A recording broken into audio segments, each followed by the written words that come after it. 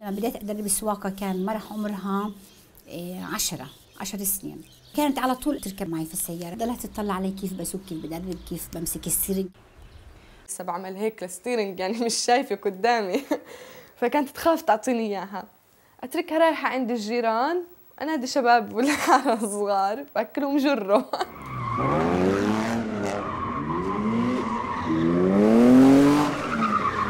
أنا شايف الهوايه عندها من يوم ما سرقت السيارة وهي من 11 سنة. يعني شفت إنه هاي مش طبيعي. كانوا يدفشوا السيارة معي بس أوصل على منطقة بعيدة عن بيتنا إنه ماما ما تسمعش السيارة وهي بتتشغل أشغلها. طبعا ما كنتش أعرف غير تاني كنت ألف كل الحارة أول. كنت احرق السيارة. بلشت في سباق السيارات من عام 2009 شاركت في أول سبيد لإلي. كان في مدينة جنين. أنا كثير بحب بلدي. السباق الأولاني أنا صارت كثير مشاكل. الكل عمل قال هذا حكي بصيرش وهذا عيب ومش معقول اللي بتعمله انت صبيها القهوة يا مرا يلا نفتح اليوم. سمعتي سمعتي هالخبر عزش مش معقول. سمعت هربت بسرعة أحسن لكن موضوع اليوم. حكى لهم بابا بنتي عندها هاي الهواية لا بدي أخليها تشارك بدي أخليها تسابق ورح تشوفوا إنها رح تغلب الشباب. يعني أنا صراحة الدعم المعنوي بيعني لي أكثر من المادي بكثير. عندي هاي الهواية مش نازلة أنا أتخوت يعني أو لأنه في شباب بدي أنزل.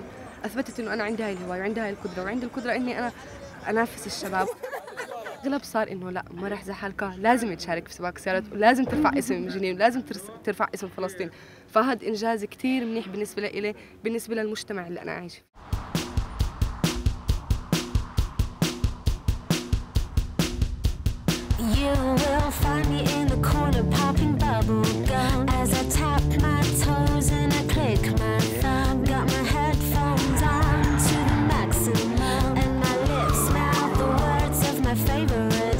Song. بصراحة دعسة البنزين بتعني لي كثير أشياء.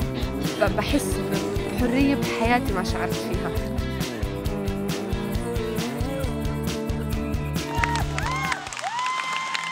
أتمنى منظمة كير تعمل event زي هيك دائما وأكون أنا متواجدة فيه وأحكي مع هدول الجيل الطالع لحتى أعطيهم دفعة إيجابية لقدام ويشتغلوا على إنهم يغيروا فكرة هاي المجتمع.